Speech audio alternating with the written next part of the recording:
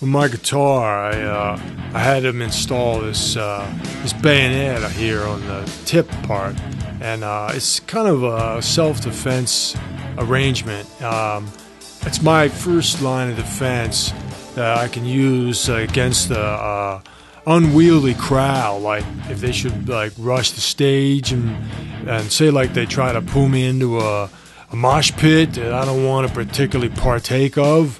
I can use it like to fend them off, man. Like like Washington crossing the Delaware.